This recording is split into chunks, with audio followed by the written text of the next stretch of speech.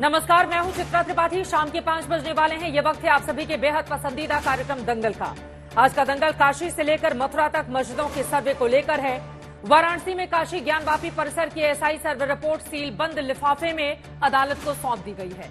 इस रिपोर्ट में क्या है, ये 21 दिसंबर को ही पता चलेगा, क्योंकि उसी दिन अदालत पक्षकारों को रिपोर्ट देगी। हालाँकि मुस्लिम पक्ष की अपील है कि सर्वे रिपोर्ट के तथ्य सार्वजनिक नहीं किए जाएँगे उधर मथुरा में श्री कृष्ण जन्मभूमि परिसर में मौजूद शाही ईदगाह मस्जिद में भी कोर्ट कमिश्नर से सर्वे कराने के मामले पर इलाहाबाद हाईकोर्ट में फैसला सुरक्षित रखा गया है। इसके पहले 14 दिसंबर को इलाहाबाद हाईकोर्ट ने मथुरा में कटरा के शबदेव इलाके में बनी शाही ईदगाह मस्जिद के अंदर कोर्ट कमिश्नर से सर्वे कराने का आदेश दिया था। इस सर्वे में कोर्ट कमिश्नर के नाम और अन्य शर्तों पर आज अदालत को फैसला सुनाना है। हालाँकि मुस्लिम पक्ष ने सर्वे रुकवाने के लिए सुप्रीम कोर्ट से गुहार लगाई थी, लेकिन अदालत ने सर्वे पर रोक नहीं लगाई थी। सुप्रीम कोर्ट में 9 जनवरी को मथुरा मामले पर सुनवाई होनी है। उससे पहले ही हाई कोर्ट से सर्वे का आदेश आ चुका है। ऐसे में कांग्रेस पार्टी की ओर से बीजेपी की ध्रुवीकरण की सियासत से हो रहे फ़ायदे को लेकर अपनी चिंता जताई जा रही है। वरिष्ठ कांग्रेस के नेता पी चिदम्बरम ने कहा है कि मुस्लिम ईसाई विरोधी प्रचार और ध्रुवीकरण को लेकर वो ज़्यादा चिंतित हैं, क्योंकि उत्तरी और मध्य भारत में बीजेपी को इसका फ़ायदा मिल रहा है और कांग्रेस के पास इसकी काट नहीं है।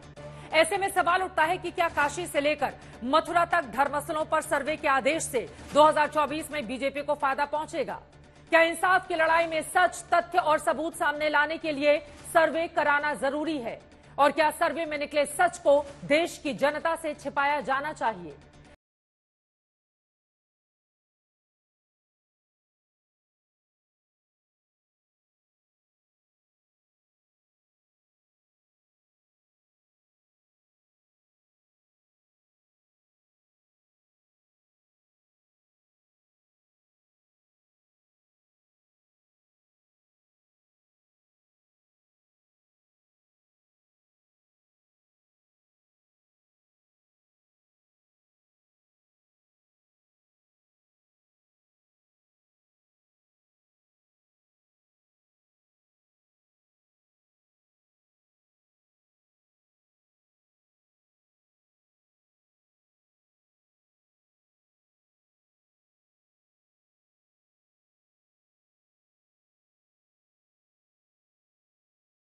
सील बंद लिफाफे में अदालत को सौंप दी गई। आपत्ति है कि ये रिपोर्ट सील कर में फ़ाइल ही नहीं हो सकती थी। सुप्रीम कोर्ट में 4 अगस्त में ये मामला उठा था और अंजुमन इंतजामिया की वहाँ पे यही डिमांड थी कि रिपोर्ट सील कर में फ़ाइल की जाए। सुप्रीम कोर्ट ने उस मांग को सिरे से खारिज कर दिया। उसके बाद आज एएसआई ने सुप्रीम कोर्ट के ऑर्डर के वायलेशन में ये रिपोर्ट सील कवर में फ़ाइल की है। एएसआई की इस रिपोर्ट में क्या पाया गया है? इसका खुलासा 21 दिसंबर से पहले नहीं हो सकता क्योंकि अदालत से उसी दिन पक्षकारों को रिपोर्ट मिल सकती है। हालाँकि मुस्लिम पक्ष ने अपील की है कि रिपोर्ट को सार्वजनिक नहीं किया जाए। मैंने बिफोर में एक दरखास्त दे रखी है कि अगर ऐसी कोई रिपोर्ट वगैरह आती है तो उसको बंद लिफाफे में रखा जाए और उसको सार्वजनिक इसलिए न किया जाए क्योंकि उससे शांति व्यवस्था भंग न होने पाए और उसका मीडिया में मिसयूज न होने पाए। बस इतना ही मेरा मकसद। वाराणसी के ज्ञानवापी परिसर में मौजूद इमारत के नीचे क्या मंदिर के सबूत हैं? इसकी तलाश में अदालत ने ज़मीन के नीचे वैज्ञानिक तरीके से सर्वेक्षण का आदेश दिया था। वाराणसी की जिला अदालत ने 21 जुलाई को वज़ू खाना वाला हिस्सा छोड़कर बाकी हिस्सों में एएसआई के वैज्ञानिक सर्वे का आदेश दिया। 24 जुलाई से सर्वे शुरू हो गया, लेकिन मुस्लिम पक्ष की अर्जी पर सर्वे रोक दिया गया। फिर 4 अगस्त को अदालत की इजाज़त से दोबारा सर्वे शुरू हुआ, जो 16 नवंबर तक चला। खबर है कि इस सर्वे में भी सनातन धर्म से जुड़े वही प्रतीक चिन्ह, मूर्तियाँ, कलश जैसे सबूत मिले हैं, जो इससे पहले हुए सर्वे में सामने आए थे। ज्ञानवापी के अलावा मथुरा के श्री कृष्ण जन्म स्थान परिसर में मौजूद शाही ईदगाह मस्जिद के अंदर भी एएसआई सर्वे को लेकर इलाहाबाद हाईकोर्ट ने आदेश दे रखा है। लेकिन सर्वे की शर्तें और कोर्ट कमिश्नर तैनात करने के मामले पर मुस्लिम पक्ष की आपत्ति सुनने के बाद अदालत ने पहले आदेश सुरक्षित रख लिया था। जब स्टे नहीं है तो ऑपरेशन को रोकने का कोई औचित्य नहीं बनता है। लेकिन माननीय न्यायालय ने दोनों पक्षों को सुना और सुनने के बाद ऑर्डर को रिज़र्व कर लिया है और मैं मानता हूँ कि जो पहले उनकी एप्लीकेशन आई है, उसका निस्तारण, जैसा न्यायालय का कहना है कि पहले उस एप्लीकेशन का निस्तारण होगा और उस एप्लीकेशन के निस्तारण के बाद आगे की कार्रवाई शुरू होगी। हिंदू पक्ष का दावा है कि मथुरा की शाही ईदगाह मस्जिद भी मंदिर की बुनियाद पर ही खड़ी की गई है और अनाधिकृत पक्ष से समझौता करके उस ज़मीन पर अवैध कब्जा किया गया है। ऐसे 18 मुकदमों पर इलाहाबाद हाईकोर्ट में सुनवाई चल रही है।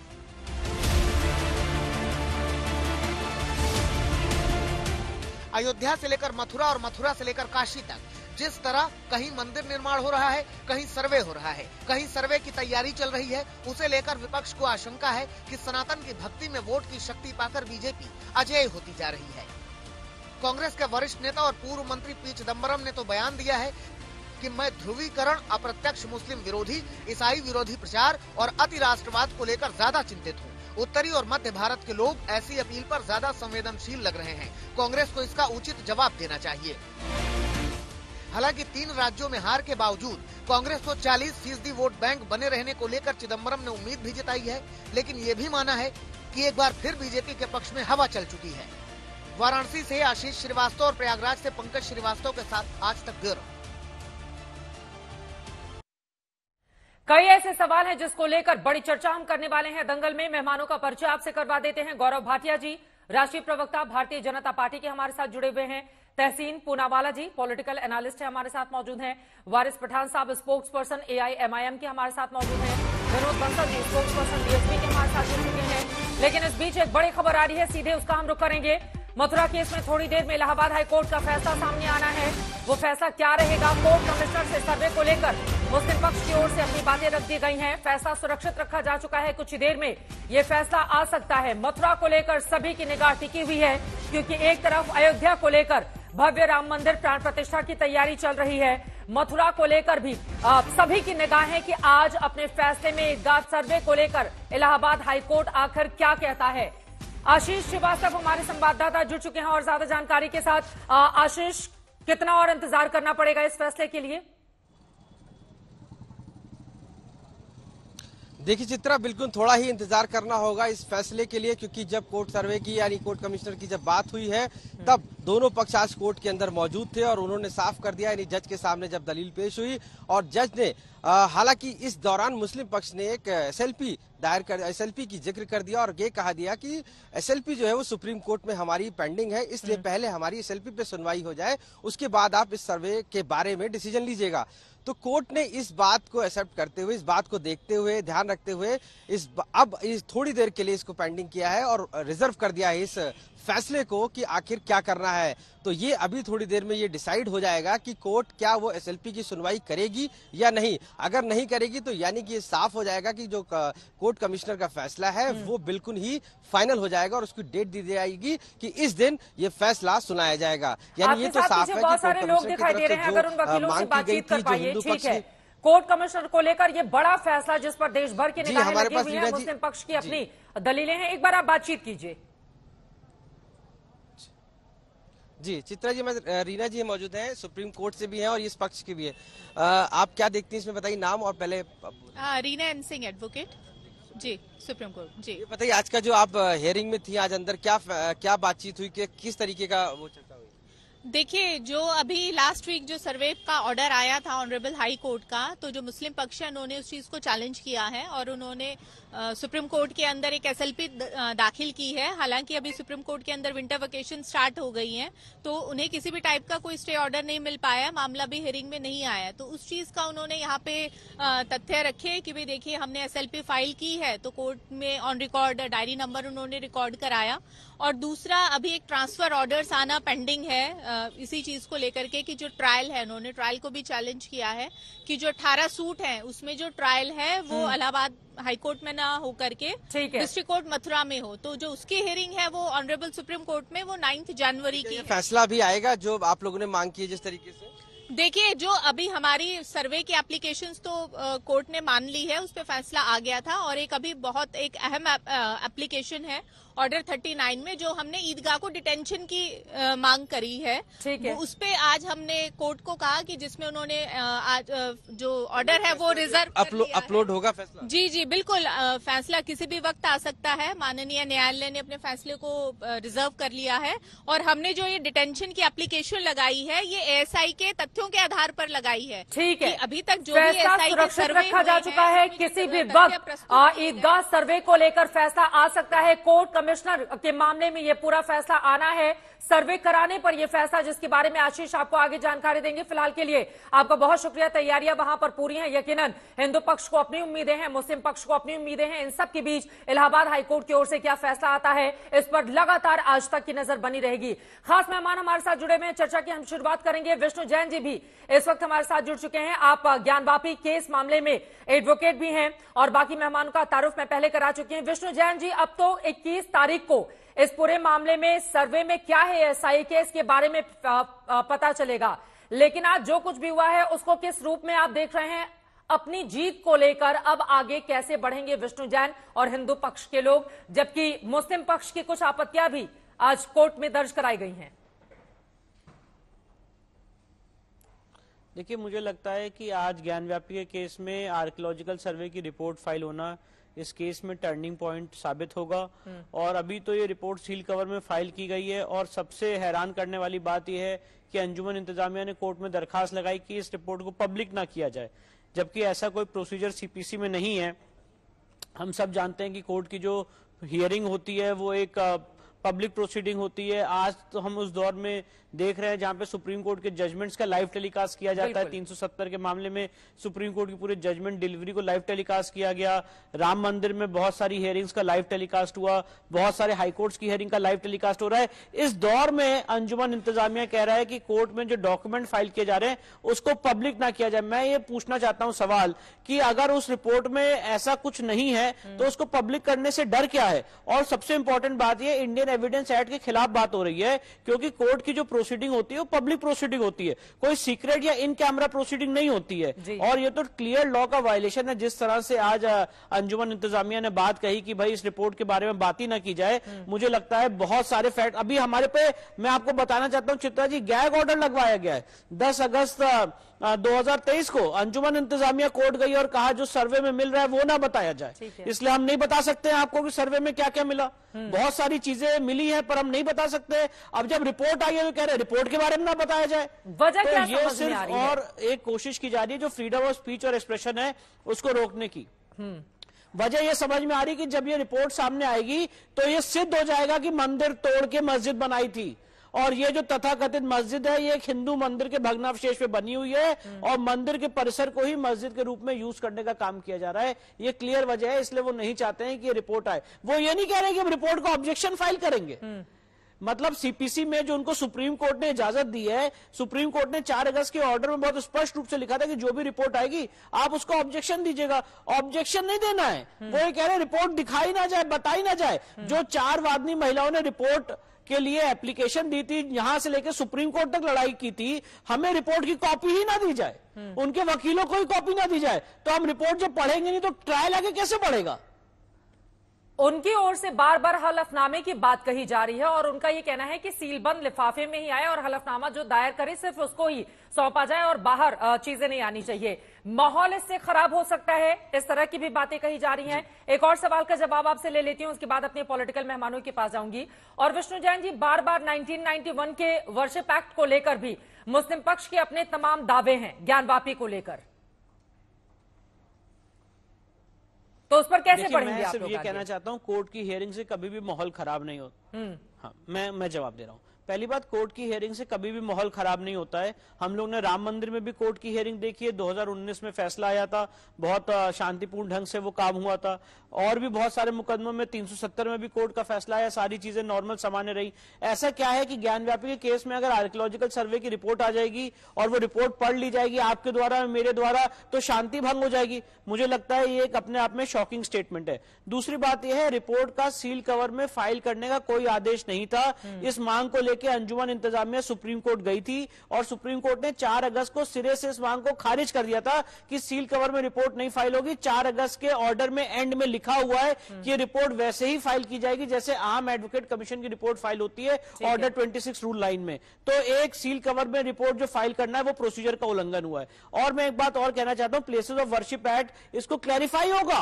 जब ये रिपोर्ट पढ़ी जाएगी तो जगह का धार्मिक स्वरूप क्या है ये समझ में आएगा कि किस तरह से आप मंदिर में घुस के नमाज़ पढ़ रहे हैं। इसीलिए वो नहीं चाहते हैं। जो हम्म। प्लेसेस ऑफ़ वर्शिप एक्ट का आर्ग्यूमेंट है वो डिफीट होगा जब ये रिपोर्ट की कॉपी हमें मिलेगी। ठीक है और भी कई ऐसे तकनीकी सवाल है जिसका जवाब मैं आगे आपसे लूँगी। गौरव भाटिया जी हमारे साथ जुड़े हुए हैं। गौरव भाटिया जी लेकिन अब राजनीति के परिदृश्य में मैं बात करूँ तो कहा जा रहा है अयोध्या मथुरा काशी 2024 की झांकी इसको लेकर अब बीजेपी आगे बढ़ रही है। पी चिदम्बरम साहब का यह कह रहा है कि ध्रुवीकरण करने की कोशिश में एक बार फिर से बीजेपी जोरदार तरीके से लग गई है।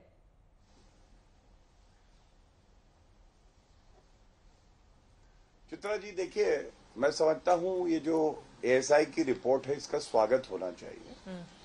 और ऐसा प्रतीत होता है कि जो हिंदू पक्ष है उसके दावे को बहुत बड़ा बल मिलता है क्योंकि जो हिंदू संस्कृति से जुड़े हुए चिन्ह है प्रतीक है वो सब पाए गए हैं। ये आपका चैनल भी दिखा रहा था। आज सवाल ये आता है कि अगर सर्वोच्च न्यायालय माननीय उच्च न्यायालय और साथ में डिस्ट्रिक्ट कोर्ट तीनों आदेश देते हैं और उसके बाद एक सर्वे होता है ऐसा क्या है जो मुस्लिम पक्ष नहीं चाहता कि सामने आए? क्यों ना दूध का दूध और पानी का पानी हो जाए? अगर अक्रांताएँ की गई हैं और चिन्ह मिल रहे हैं कि मंदिर तोड़े गए हैं और हिंदू समाज इतना सहिष्णु है उसकी आस्था कानून में है कि वो कानून के रास्ते से जाके अपना हक मांग रहा है उसमें रोक लगाना या धमकी देना कानून व्यवस्था ध्वस्त हो जाएगी ये तो बहुत ही अराजक मानसिकता को दिखाता है जो चिंताजनक है। दूसरी बात क्या कानून व्यवस्था वाकई ध्वस्त हो जाएगी? योगी आदित्यनाथ जी मुख्यमंत्री हैं ये टूटी साइकिल वाले मुख्यमंत्री नहीं है। जब फैसला आया था सर्वोच्च न्यायालय से भी अयोध्या का हम सबने देखा कानून व्यवस्था बिल्कुल स्वस्थ थी ध्वस्त नहीं थी। और आगे भी हमें पता है कि अराजक तत्वों से कैसे डील करना है। सख्त कार्रवाई होगी अगर कोई कानून तोड़ेगा। तीसरी बड़ी बात जो आदेश सर्वोच्च न्यायालय ने पारित किया है उसमें कहीं नहीं लिखा है कि सील्ड कवर में आप जो है रिपोर्ट देंगे। तो ये बिल्कुल सही बात अभी मेरे छोटे भाई हैं विष्णु जैन ने कही कि अगर आदेश में नहीं लिखा है तो ये तो जो पिटिशनर है जिसने सूट फ़ाइल किया है उसका हक बनता है कि वो रिपोर्ट का अध्ययन करे। और इसके आधार पे अगर उसकी कोई आपत्ति हो या सहमति हो तो वो जवाब कोर्ट में दे और कोर्ट की सहायता करे। तो इस पे किसी को आपत्ति कैसे हो सकती है? अंत करूँगा एक बात कह के और। आप याद करिए जब ये सर्वे का आदेश हुआ था चित्रा जी जी। तो अंजुमन इंतजामिया कमेटी ने क्या कहा था? उन्होंने कहा था सर्वे टीम अंदर घुसी ना तो अंदर तो घुस जाएगी बाहर नहीं जा पाएगी। लेकिन कानून व्यवस्था इतनी बढ़िया है कि सर्वे भी हो गया रिपोर्ट भी आ गई। अब जिनको डर लगता है उनको डर लगता रहे लेकिन ऐतिहासिक भूल का सुधार तो होगा और कानून के रास्ते से होगा। वारिस पठान जी उनके इन सवालों पर आप जवाब दीजिए। वो कह रहे हैं जो ऐतिहासिक भूल हुई है उसमें सुधार की बहुत ज़्यादा ज़रूरत है और आखिर ऐसा क्या है सीलबंद लिफाफे में जिसको सार्वजनिक होने से डर रही है ये कमेटी? वारिस पठान साहब किस बात का डर? देखिए लोग झूठ बोल रहे हैं चित्रा जी। झूठ बोल रहे हैं लोग। ये बीजेपी, विश्व हिंदू परिषद, ये बजरंग दल, ये लोग देश के अंदर एक नफरत का माहौल क्रिएट कर रहे हैं। ये लोग एक पेंडोरास बॉक्स ओपन करने की कोशिश कर रहे हैं, जो कई साल पहले बंद हो चुका है। ये लोग पोलराइजेशन की राजनीति करना चाहते हैं। 2024 के चुनाव के पहले जबकि इनको पता था हम तो पहले से बोलते आ रहे थे ना कि places of worship act 1991 already लागू हुआ है और वो एग्जिस्टेंस में है। प्लेसेस ऑफ़ वर्शिप एक्ट लाने की मंशा नीयत यही थी कि जो भी मॉन्यूमेंट रिलीजियस प्लेसेस 15 अगस्त 1947 के पहले है उसका आप नेचर और कैरेक्टर को चेंज नहीं कर सकते। जब साफ़ उसमें तय कर दिया गया था तो उसके बाद क्यों इन लोगों को लाने की ज़रूरत पड़ी सर्वे के लिए? तो हम यही बोलते हैं ना, सर्वे सिर्फ़ एक बहाना है, इनकी जो मानसिकता है, इनका जो इंटेंशन है, यही टोटल गलत है। अब इन्होंने बात कहा सुप्रीम कोर्ट की तो सुप्रीम कोर्ट ने तो बाबरी मस्जिद के वक्त भी कह दिया था कि हमारे पास कोई ऐसे पुख्ता सबूत नहीं है एविडेंस नहीं है जो ये बताता है कि मंदिर को तोड़ के कभी मस्जिद बनाई गई है। कोई यूनानी ये यूनानी मस्जिद उन्होंने बोला था। उसके बाद में यहाँ तक बोला कि कोई एविडेंस हमारे पास नहीं है कि अंदर वहाँ पे नीचे मूर्तियाँ प्रकट हुई। मगर फिर भी एक हलफनामा दाखिल किया गया था इन लोग ने। और बता दिया कि भाई, ताला खोला कांग्रेस के राज में। फिर बोल दिया रात के अंदर मूर्तियाँ प्रकट हो गई और एक हलफनामा दाखिल कर दिया कोर्ट में। उसके बावजूद धोखे से 6 दिसंबर 1992 को हमारी बाबरी मस्जिद को लोगों ने शहीद कर दिया। अब हम नहीं चाहते कि हमारी दूसरी मस्जिदों के भी साथ ये सब हो तो हम तो चाहते हैं कि जो प्लेसेस ऑफ़ वर्शिप एक 1991 ऑलरेडी इनटू एग्जिस्टेंस है उसका पालन किया जाए ना। अब आप पार्लियामेंट के बनाए हुए कानून को भी नहीं मानेंगे तो फिर आप किस चीज़ को मानेंगे? क्या ज़रूरत है आपको सर्वे करने की? अभी आप शाही ईदगाह के सर्वे के पीछे चले गए जबकि सबको पता है पूरे देश को 9 जनवरी को सुनवाई होनी थी। फिर भी आप अलाहाबाद हाई कोर्ट के अंदर जाते हो वहाँ से ऑर्डर लेके आते हो कमिश्नर का। क्या आपकी मंशा है? या आपको पोलराइजेशन करना है या आपको पार्लियामेंट का जो पास किया वो ऑर्डर है उसको मान्यता देनी है। और यहाँ बैठ के झूठ देखिए एक सत्य है जो सच्चाई सबको माननी होगी जो सुप्रीम कोर्ट ने बाबरी मस्जिद के वक्त भी कहा था हाँ। कि वहाँ पर कोई ऐसा पुख्ता सबूत नहीं कि मंदिर को तोड़ के मस्जिद बनाया। ये मानिए ये मानिए कि इस तरह का कोई एविडेंस है ही नहीं है सिर्फ़ आपका झूठ और भरम है और जो चीज़ जहाँ थी वैसी ही रहेगी। और शाही ईदगाह की तो मैं बात करूँगा गौरव भाटिया को तो पता भी नहीं है वहाँ पे क्या हुआ है। शाही ईदगाह का तो ऑलरेडी मैटर सेटल हो चुका है। 1968 में एक सेटलमेंट का एग्रीमेंट हुआ था ईदगाह ट्रस्ट का और वहाँ के जो कृष्ण भूवि ट्रस्ट वाले थे उनके बीच में कोर्ट के ज़रिए। अब आप आज आके बोलोगे कि नहीं पचास साल बाद हम उस सेटलमेंट को नहीं मानते उनको अधिकार नहीं था तो ये सब सिर्फ़ गलत है और आपको एक दूसरे समुदाय के बीच में सिर्फ़ और सिर्फ़ नफरत फैलानी है जो हमारा देश नहीं चाहेगा और सील एंड वोरप के अंदर देना क्या गुना है कितनी मर्तबा कोर्ट के अंदर सील एंड वोरप के अंदर दिया जाता है रिपोर्ट। क्योंकि ताकि उससे अफरा तफरी ना फैले ठीक जो है। सच्चाई है कोर्ट तक रहे हाँ कोर्ट के बीच में रहे। तो क्या उल्लंघन हो गया कानून कायदे का? ठीक है आपने जो सवाल पूछे हैं उस पर गौरव भाटिया जी वो कह रहे हैं, आपको तो मथुरा के बारे में जानकारी भी नहीं होगी। और फिर वो हवाला दे रहे हैं 1968 का कि कोर्ट की ओर से मामले को सेटल कर लिया गया था। फिर इतने सालों के बाद उसको निकाल कर लाने की क्या ज़रूरत है? देखिए, ऐसा है कि मैं ओवैसी जी की तरह ब्रीफलेस बैरिस्टर नहीं हूँ कि मुझे जानकारी ना हो कि कोर्ट क्या आदेश पारित करते हैं। सर्वोच्च न्यायालय में वरिष्ठ अधिवक्ता हूँ। मैं कुछ तथ्य आपको बताता हूँ। देखिए तर्क देखिए वारिस जी का उसमें विरोधाभास है। एक तरफ़ इन्होंने कहा कि इलेक्शंस को देख के किया जा रहा है। तो मैं इनको याद दिलाऊँगा कि जो अयोध्या का ये लोग कहते हैं कि वहाँ पे विवादित ढांचे को गिराया गया। तो वो तो साढ़े चार सौ साल से चल रहा था। साढ़े चार सौ साल से जो चल रहा था वो इलेक्शन के मद्देनजर कैसे हुआ? ऐसे ही ये मामला जो है इलेक्शन तो 2024 में है। लेकिन ये सूट तो बहुत पुराना है। इसलिए इसको इलेक्शन से ना जोड़े, मैं इनको बता दूँ। जैसे आप कहते हो ना, हमारी बाबरी मस्जिद, हम भी कहते हैं हमारे राम, हमारे शिव भगवान, हमारे कृष्ण भगवान। और जब कृष्ण भगवान और शिव भगवान की कृपा हो गई, जैसे अयोध्या में न्याय हुआ है, वैसे यहाँ भी न्याय हो जाएगा। कम से कम न्यायपालिका में आस्था किए और एक बड़ी बात कहता हूँ, चित्रा जी, ये देखिए क्या विचित्र बात है। कि जहाँ जहाँ हिंदुओं की आस्था है बड़े बड़े मंदिर है हमारे भगवानों के। चाहे अयोध्या हो काशी हो चाहे वो मथुरा हो। आप मुझे ये बताइए वहीं पे मस्जिद बगल में हाँ। एक ही दीवार लगी हुई कैसे आ जाती है? अरे अक्रांता नहीं थे तो और क्या थे? लड्डू पेड़े लेके आए थे प्यार मोहब्बत फैला रहे थे। ये इतिहास है। अगर इतिहास में कोई भूल हुई है मुस्लिम समाज को आज चाहिए कि वो अपनी भूल का सुधार करें कहे हिंदू हमारे भाई हैं उनको उनका हक मिले। हाँ। और तीनों जहाँ पे हम लोग कह रहे हैं मुकदमों की बात हो रही है अयोध्या में तो निर्माण हो ही रहा है। ठीक है। उसी तरह से काशी में और मथुरा में हाँ। मुसलमान समाज को आगे आके हिंदुओं को उनका हक देना वारिस इस पर आप अपनी बात कह लीजिए। विष्णु जैन जी मैं फ़ौरन आपके पास आ रही हूँ। आप हाथ खड़ा कर। रहे हैं एक बार वारिस पठान जी अपनी असहमति जता रहे थे गौरव भाटिया की बातों से। देखिए मैं गौरव भाटिया की बात से जरा भी सहमत नहीं हूँ। झूठ पे झूठ बोले जा रहे हैं ये। इन्होंने कहा कि अयोध्या में हमारे साथ न्याय हुआ। नहीं गौरव भाई, हमारे साथ अन्याय हुआ है। हमारे साथ अन्याय हुआ है। 6 दिसंबर 1992 के दिन हमारे धोखे से बाबरी मस्जिद को शहीद कर दिया गया। एफिडेविट फ़ाइल करते हो सुप्रीम कोर्ट के अंदर, या मस्जिद को आप शहीद कर देते हो हमारी। सोचिए, जिस दिन सुप्रीम कोर्ट के जस्टिस गोगोई ने यह फैसला दिया, उस दिन अगर हमारी मस्जिद वहाँ पर तामीर रही होती तो आज फैसला अलग ही होता ना क्योंकि उन्होंने तो यूनाइमर्सली डिसाइड कर दिया कि यहाँ पे कोई मंदिर को तोड़ के मस्जिद कभी बनाया ही नहीं है यूनाइमर्स डिसीज़न था लेकिन अंडर आर्टिकल 142 के तहत सुप्रीम कोर्ट को पावर था उन्होंने ये फैसला दे दिया। मगर उसके पहले 1991 का था तब हमने कहा था कि ये भी ये लोग इसका पेंडोरास बॉक्स खोलेंगे। ये तीन हज़ार चार हज़ार 142 मस्जिदों के पीछे की बात करेंगे तो फिर क्या फ़ायदा? पार्लियामेंट में कानून बनाने का फ़ायदा क्या हुआ? यदि आप पार्लियामेंट के कानून को भी नहीं 142 मानेंगे। चलिए प्रेसिस ऑफ़ वर्शिप पूछ रहा 1991 आज एक्सिस्टेंस में है क्या नहीं? आर्टिकल 142 क्या आज? एग्जिस्टेंस में है या नहीं है? है। वो अभी तक ओवर रूल हुआ नहीं है। उसमें कहा था नेचर कैरेक्टर आप किसी भी प्लेस का चेंज नहीं कर सकते। वो कानून है नहीं है है ना? तो फिर आपको क्या ज़रूरत है इस तरह का सर्वे करवाने का? क्यों चाहते हो आप देश के अंदर अराजकता का माहौल फैले? क्यों चाहते हो आप एक दूसरे के बीच में नफरत फैले? देखिए आप बीच में बोलने से मेरी आवाज़ को तो रोक नहीं सकेंगे। पब्लिक देखेगी कि अगर सुप्रीम कोर्ट का लॉयर इस तरह से बीच में टक टक टक कर रहा है तो आपकी इज़्ज़त ज़ीरो हो जाएगी। सुनिए मुझे बोलने दीजिए।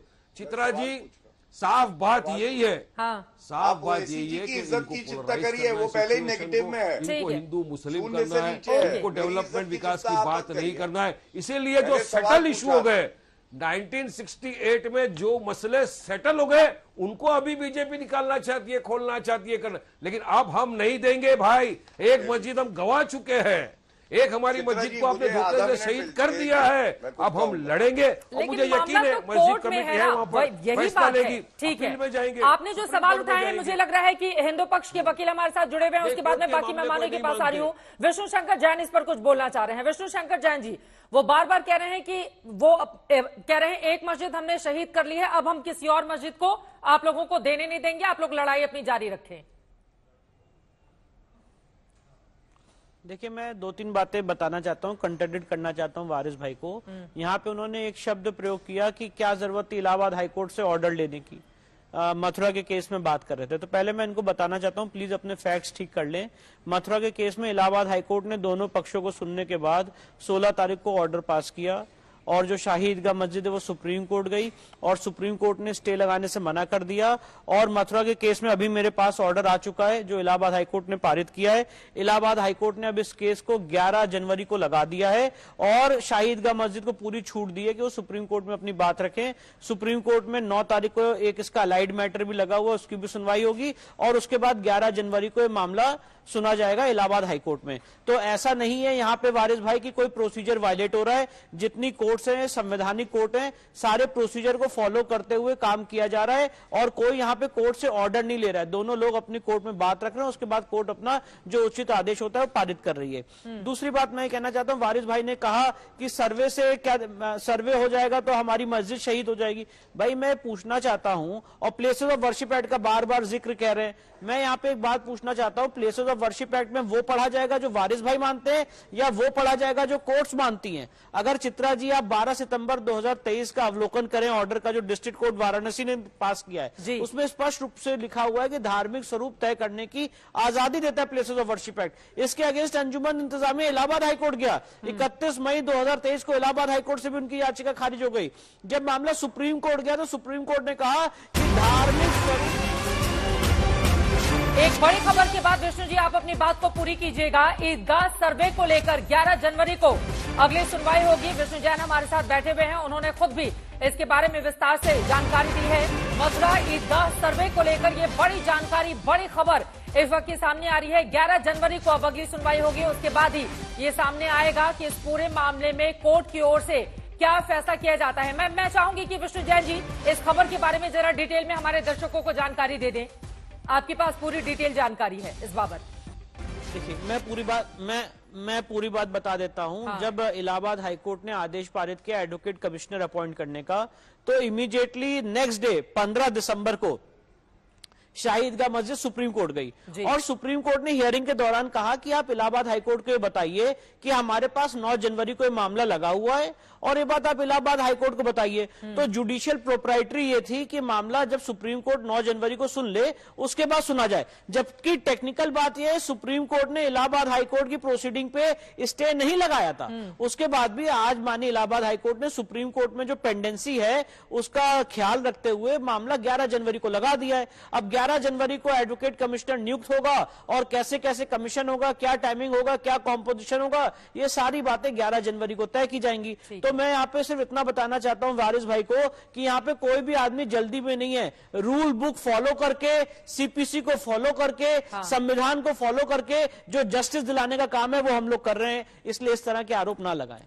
और यकीनन कोर्ट की ओर से जो फैसला आएगा, वो सभी को मान्य भी होगा। वारिस पठान जी बार बार अयोध्या के संदर्भ में आप ज़िक्र कर रहे हैं, लेकिन सभी ने उसका स्वागत भी किया था, जो भी फैसला आया था। मैं आऊँगी आपके पास। दो और मेहमान बहुत देर से आधे घंटे हो गए हैं, एक भी टिप्पणी उनकी नहीं हो पाई है। तहसीन पूनावाला जी, अब मैं आपके पास आते हुए विनोद बंसल जी, फिर फ़ौरन आपके पास आऊँगी।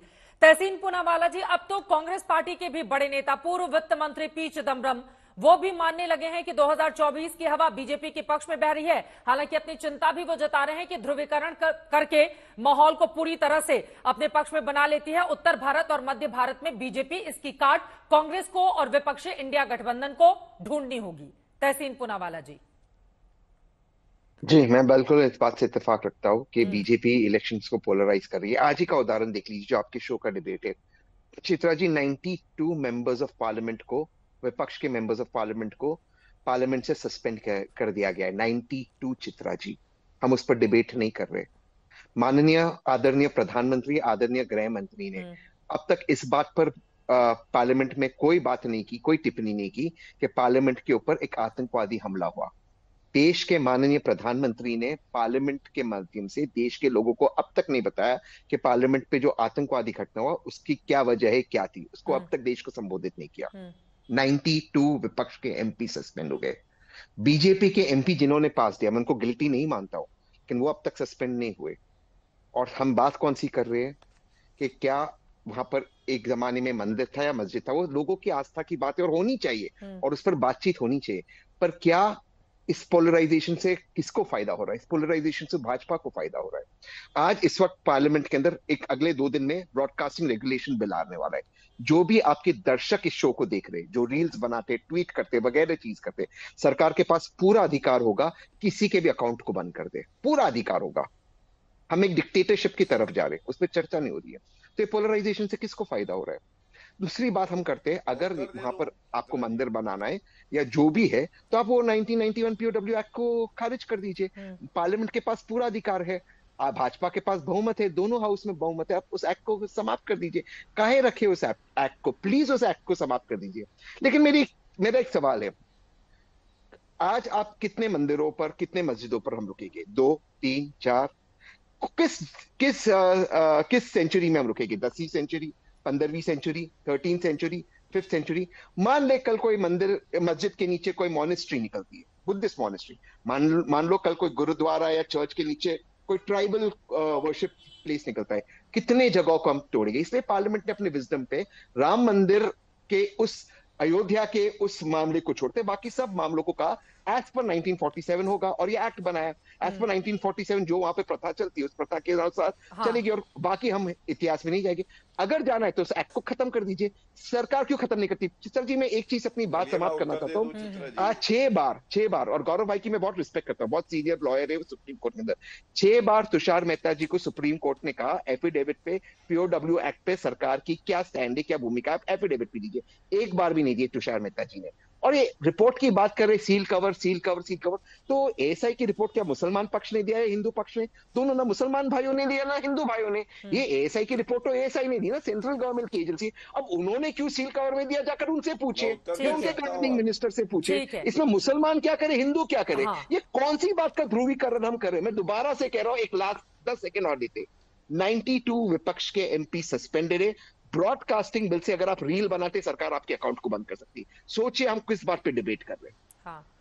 हम इस बात पे डिबेट कर रहे हैं तहसीम पूनावाला आज की बड़ी खबर ये भी है नहीं आप मेरी बात सुन ले आप बहुत अच्छे वक्ता हैं। एक एक क्लैरिफिकेशन एक क्लैरिफिकेशन क्योंकि बैक टू बैक आज तक पर दो डिबेट होते हैं। हम पाँच बजे आज की बड़ी खबर यह है इस पर डिबेट कर रहे हैं। शाम छह बजे ये जो 92 एमपी की आप बात कर रहे हैं उन पर डिबेट होगी। तो ऐसा नहीं है कि आज तक पर डिबेट नहीं हो रही है। और दूसरी चीज़ सरकार की ओर से ये बातें कही गई हैं कि विपक्ष का रवैया असहयोगात्मक है वो कामकाज में बाधा पहुँचा रहा है इस वजह से उनको निलंबित करना ज़रूरी हो जाता था। इस पर हमारे दर्शक छह बजे शाम को डिबेट देख सकते हैं। लेकिन फिर मैं आ जाती हूँ जिस मुद्दे पर हम पाँच बजे इस वक्त डिबेट कर रहे हैं। विनोद बंसल जी लेकिन उन्होंने सवाल तो खड़े किए ना। अब कितनी मस्जिदों में जाकर आप लोग ढूंढते रहेंगे कि यहाँ पर भी मंदिर था, यहाँ पर भी मंदिर था, यहाँ पर भी मंदिर था। कोई तो एक लिमिट इसको लेकर तय की जानी होगी ना, विनोद बंसल जी। उन्होंने क्या गलत कहा? नहीं चित्रा जी पहले तो मैं इनकी बात का जवाब दे दूँ। जी ये बात करें कि इस इस टॉपिक पर डिबेट होनी चाहिए इस पर नहीं होनी चाहिए। और मीडिया में जहाँ पर जो जो इनको कवरेज देता है उसी पर छींटाकची करना उन पर कीचड़ उछालने की इनकी कांग्रेसियों की और जिहादी वृत्तियों की मानसिकता नहीं मैन मैन देखिए देखिए प्रश्न प्रश्न ये है कि देखिए जो इन्होंने कहा कि प्लेस ऑफ़ वर्शिप एक्ट ये कोर्ट डिसाइड करेगा ये डिसाइड करेंगे। ये भी दोनों एडवोकेट हैं। दुर्भाग्य से ये है कि दोनों की दोनों एडवोकेट हैं। जो उस एडवोकेट जो कोर्ट की कार्रवाई या कोर्ट की कोर्ट कमिश्नर का विरोध कर रहे हैं? आप देखिए कि दुर्भाग्य ये है कि ये ये एडवोकेट होते हुए भी कोर्ट के काम में हस्तक्षेप करने का दुस्साहस कर रहे हैं। आप मुझे बताइए अगर प्लेसेस ऑफ़ वर्शिप एक्ट अगर लागू होता है वहाँ पर तो कोर्ट क्यों कमिश्नर नियुक्त करेगा? आखिरकार प्लेसेस ऑफ़ वर्शिप एक्ट लागू होता है तो क्यों माननीय सर्वोच्च न्यायालय और उच्च न्यायालय उस बारे में कोई डिसीज़न देगा? क्या ये बड़ी एक कोर्ट बना है? मेरी समझ में नहीं आता। एक बात दूसरी बात ये ये जो बार बार वो उन्नीस सौ सड़सठ के उसका एग्रीमेंट का हवाला दे रहे हैं। अरे वो मुझे बताइए आप कौन होते हैं? ये ये जो ये जो, जो अपने मुसलमान पार्टी है या कांग्रेस पार्टी है जिसने हमेशा से हिंदुओं का विरोध किया है इस भारत का दोहन किया है इनको ये अधिकार किसने दे दिया कि मुसलमानों के रिप्रेजेंटेटिव हो गए? या तो ये कहें कि हम हम सिर्फ़ मुसलमानों के रिप्रेजेंटेटिव हैं। लेकिन पार्टी के नाम में मुसलमान लिखा हुआ है और फिर कोर्ट को कहते हैं कि सेकुलरिज्म की बात करो। ये ये शोभा नहीं देता इनको। देखिए जब जब राम जन्मभूमि के ऊपर मंदिर में भगवान राम प्राण प्रतिष्ठा होने वाली है उस समय बाबर की बात करना निस्संदेह देश के माहौल को खराब करने का काम कर रहे हैं और आपका चैनल इनको हवा देने का काम कर रहा है। मुझे लगता है ऐसे लोगों पर प्रतिबंध लगाना चाहिए कि राम जन्मभूमि के बारे में बाबर के बारे में किसी भी तरह का दुस्साहस करना माननीय सर्वोच्च न्यायालय के निर्णय के खिलाफ है और इनके ऊपर कार्रवाई होनी चाहिए। ऐसे लोग बना डिबेट के लायक नहीं है। आप देखिए डिबेट का टॉपिक क्या है और लेके कहा जा रहे हैं? आप बताइए मथुरा पे इनके पास बोलने के लिए कुछ नहीं है? इनके पास काशी पे बोलने के लिए कुछ नहीं है। ये बार बार बार बार बाबरी को और बाबर को और उनको लेके चलेंगे। ये ठीक नहीं है। ये देश के माहौल को बर्बाद करने की कोशिश कर रहे हैं। सही मायने में तो इनको पर कार्रवाई होनी चाहिए। और दूसरी बात ये कि देखिए अभी मुक्ति का समय आ गया। चित्रा जी मैं आपकी बात का जवाब दे रहा हूँ आपको। जी जी। एक के बाद एक जो है ना अगर ये अभी नहीं सुधरे तो आगे आगे आगे जो है ना स्थितियाँ बहुत भयावह होने वाली है इनके लिए। वो ये ये जब तक जब तक ये विदेशी मानसिकता के साथ खड़े रहेंगे आएगा। विदेशी हाँ, आक्रांताओं के साथ खड़े रहेंगे तो। मुस्लिम इन्वेडर के साथ खड़े रहेंगे तो देश की जनता इनको। बख्शेगी नहीं। एक के बाद एक एक के हाँ, बाद एक इनको पर कार्रवाई होनी है हाँ। राजनीतिक रूप से और गैर राजनीतिक रूप से। अब बोलिए। बकार साहब अरे वारिस पठान जी वो आप ही के ऊपर आरोप लगा रहे हैं। उनका ये कहना है कि इनको तो पता ही नहीं है और बार बार मुद्दा कोई और है लेकर जा रहे हैं बाबर के पास। विष्णु जैन जी मैं आ रही हूँ आपके पास। एक बार वारिस पठान के ऊपर उन्होंने आरोप लगाए हैं। और उनको थैंक यू बोलूँगा सुनिए जिनको संविधान का सी नहीं मालूम है प्लेसिस ऑफ़ वर्शिप एक्ट का सेक्शन थ्री नहीं मालूम है। आईपीसी की धाराएँ नहीं मालूम है वो टीवी के ऊपर बैठ के ज्ञान दे रहे हैं। बड़ा अफसोस की बात है। बहरहाल मैं इनको यहाँ पे ज्ञान देने नहीं आया मेरे पास टाइम नहीं है। इन इनको तालीम देने का वक्त मेरे पास नहीं है। आप किसी और के पास से तालीम लेनी बना जब सुनिए मैं चित्रा जी से बात कर रहा हूँ। पार्टी के प्रवक्ता तो हो सकते हैं। जी आपने जो आरोप लगाए हैं उस पर जवाब सुन लेते चलो हैं। बताओ। विनोद जी जो आपने आरोप लगाए हैं उस पर जवाब सुन लेते हैं। अरे सुनो। डरने की क्या बात है? मैंने आपकी दुखती रख को दबोच डाला। चिंता नहीं करो। क्यों बना था मालूम है हमारी 1991 में क्योंकि आप तो जैसे लोग आप जैसे लोग पता था सरकार को कि ये लोग हर तरह की इस तरह के नाटकबाजी करेंगे। इसलिए कुछ पार्लियामेंट अरे पार्लियामेंट मालूम है क्या है? वहाँ पे सांसद जाते हैं पार्लियामेंट में डिबेट तो- होता है उसके बाद कानून बनता है। मैं आपको सिखा रहा हूँ। अच्छा। वो कानून बना अच्छा। 1991 में। उसके बाद जब बाबरी मस्जिद का ऑर्डर आया ना चीफ जस्टिस कौन थे मालूम है आपको? किसने ऑर्डर दिया? जस्टिस गोगोई थे मैं तालीम दे रहा हूँ आपको। जस्टिस गोगोई ने कहा कि ऐसा हमारे पास पुख्ता सबूत ही नहीं है। प्लेसेस अब सुनो मालूम है। आपको? सर्वे का हो रहा है। काशी का। क्यों करा जा रहा है? मालूम है आपको? नफरत फैलाने के लिए। अब सर्वे की कहा बात। हो रही है? मालूम है आपको? मथुरा का। क्यों किया जा रहा है मालूम है? नफरत फैलाने को पोलराइज कराने के लिए जबकि प्लेसिस ऑफ़ वर्शिप ऑलरेडी यहाँ पर है और उसको अब तक पार्लियामेंट में खारिज नहीं किया गया है। सारी कोर्ट उसको तो मानती है। अरे आप पहले यार कुछ ठीक सीख समझ के आओ चित्रा जी किसके साथ बिठा दिए मेरे को? अब तो कांग्रेस किसके साथ इनको कुछ समझ में आता वाता है नहीं यार जाने दो। हाँ, अरे समझ क्या में मेरे को नहीं कानून तो आएगा, बताओ, सब थ्री बोलेंगे समझ में नहीं आएगा। एक एक करके अपनी बात रखेंगे। मुझे लगता है एक एक करके अब दर्शकों की तो। जानकारी के लिए ये जानना ज़रूरी है कि अब भविष्य में क्या होने वाला है। विष्णु शंकर जैन जी उनका ये कहना है कि नफरत फैलाने के लिए ये सारा काम आप लोगों की ओर से किया जा रहा है। और आप भी तो पहुँच जाते हैं हर जगह। मैं जवाब ज्ञान वापसी से लेकर हूँ। अयोध्या हो बाकी हिस्सा हो। हाँ ठीक है बिल्कुल जाता हूँ। हमारी बात बिल्कुल जाता हूँ और बिल्कुल जाता हूँ और आपके चैनल के माध्यम से बहुत ज़िम्मेदारी से इस देश के वकील होने के नागरे बोलना चाहता हूँ कि मैं जाऊँगा। अब मैं यहाँ पे चित्रा जी यहाँ पे एक उदाहरण देना चाहता हूँ। कुछ लुटेरे मवाली डकैत आए। उन्होंने एक हज़ार जगहों पे कब्जा कर लिया। अब जब एक हज़ार जगहों पे कब्जा करके हम कह रहे हैं कि इसको वापस किया जाए तो कह रहे हैं तीन जगहों पे बात करो या एक राम मंदिर पे बात करो बाकी जगहों पे बात ना करो। मैं पूछना चाहता हूँ क्यों भाई क्यों ना बात करें? भोजशाला पे आप हवन कुंड पे थूकते रहे संस्कृत की रिचाएँ मिटाते रहे तो कोई उसके ऊपर सवाल ना उठाए। आप कुतुब मीनार पे लिखे रहे कि सत्ताईस जैन मंदिर और हिंदू मंदिर को तोड़ के उसके मलबे से यहाँ पे हमने कुव्वतुल इस्लाम मस्जिद बना दी तो कोई बात ना करे। आप टीले वाली मस्जिद में लक्ष्मण टीला के ऊपर टीले वाली मस्जिद बना दे कोई उसके ऊपर बात ना करे? ज्ञान व्यापी पे कोई बात ना करे मथुरा पे कोई बात ना करे। ऐसे हज़ारों मंदिर है चित्रा जी। यहाँ पे मैं इस समय काशी में बैठा हुआ हूँ। यहाँ पे कृतिवासेश्वर का मंदिर है। बीच में शिवलिंग है चारों तरफ़ मस्जिद बना दी है। आप ये बताइए कि इस तरह की अगर कोई बात रेस करे तो कहते हैं कि नफरत फैला रहे और आप शिवलिंग के ऊपर वज़ू करते रहे तो नफरत नहीं फैल रही है। तो मुझे लगता है कि ये जिस तरह की बातें कर रहे हैं ये इलॉजिकल है। किसी के घर में घुस के आप उस घर को कब्जा कर ले और जब कब्जे को हटाने की बात आए तो कहे नहीं हम कब्जे को नहीं हटाएँगे क्योंकि आप प्लेसेस ऑफ़ वर्शिप एक्ट है उसने तो कहा एक के अलावा बाकी इलीगल कब्जे में बात मत करिए। ये आप सोचिए चित्रा जी कितनी इलॉजिकल बात है। अरे आपका कब्जा ही अवैध है। इन सारी जगह पे सारी जगह पे उन जगह पे बात हो रही है जहाँ पे मंदिर तोड़ के मस्जिद बनाई गई है। और मेरी बात जरा रिकॉर्ड कर लीजिएगा अपने चैनल पे। जरा हिंदू समाज का दर्द देखिए और जाके भोजशाला की तरह मंदिर देखिए जो इस तरह के संवैधानिक इंडिया में पहली बार एक ऐसा ऑर्डर पास हुआ है कि मंगलवार को हिंदू समाज के लोग वहीं पे पूजा करेंगे और फ्राइडे को वहीं पे मुस्लिम समाज के लोग नमाज़ पढ़ेंगे। क्या आपको कोई ऐसी है हैं पचास साल के बाद जगह क्यों जगे आप लोग शाहिद शाही ईदगाह वाले मामले पे। हो? हाँ वो पूछ रहे हैं पचास साल के बाद क्यों जगे आप लोग? अरे भैया पचास साल के बाद कैसे? जब लीगली आप मुझसे सवाल पूछ ही नहीं सकते हैं। आप तो वो सवाल पूछ रहे मैं चित्रा जी इसका जवाब देना चाहता हूँ बड़ा तीखा जवाब देना चाहता हूँ। है। ताजमहल को 2005 में UP Sunni central Waqf board ने कैसे वक्फ प्रॉपर्टी घोषित कर दिया? 2005 में क्यों जगे? पहले क्यों नहीं जगे? शाहजहां ने क्यों नहीं वक्फ घोषित किया था? क्यों क्यों आपने 2005 में घोषित किया? इलाहाबाद हाईकोर्ट की ज़मीन को 2017 में चित्रा जी वक्फ संपत्ति घोषित कर दिया। 2017 में क्यों किया? 1861 से क्यों नहीं किया? चंद्रशेखर आज़ाद पार्क को 1995 में क्यों वो घोषित कर दिया? पहले क्यों नहीं किया? मतलब आपको ये हक है कि किसी भी संपत्ति को बहुत संपत्ति घोषित कर दे और हमें ये हक भी नहीं है कि हम कोर्ट के माध्यम से लीगली अपनी चीज़ें जीत सके। ठीक है एक क्लोजिंग कमेंट गौरव भाटिया जी आपका। चूँकि चुनावी साल है इस वजह से इन मुद्दे को लेकर क्या बीजेपी ज़्यादा तेज़ी से आगे बढ़ रही है? ये आरोप विपक्ष लगा रहा है आपके ऊपर। देखिए इसका एक उत्तर मैं आपको तुरंत तथ्यों के साथ दे देता हूँ। ये जो सूट जिसकी बात हो रही है उन्नीस सौ इक्यानवे में डाला गया था। जी। उन्नीस में लोगों को पता था 2024 के चुनाव में इसके फैसले आएँगे। दूसरी बात आप कह रही है लिमिट तो होगी कहीं।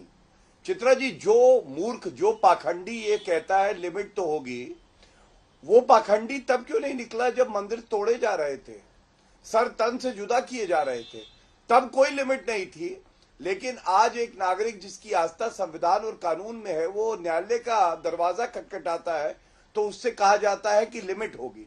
और कांग्रेस पार्टी, मैं पूछना चाहता हूँ, सोनिया गांधी, राहुल गांधी ने अयोध्या में भव्य राम मंदिर आ रहा कितना चंदा दिया है? कभी गए भी हैं वहाँ पे? नहीं जाएँगे, क्योंकि वो कहते ये मुस्लिम पार्टी है और प्लेसेस ऑफ़ वर्शिप एक्ट का भी बता दू।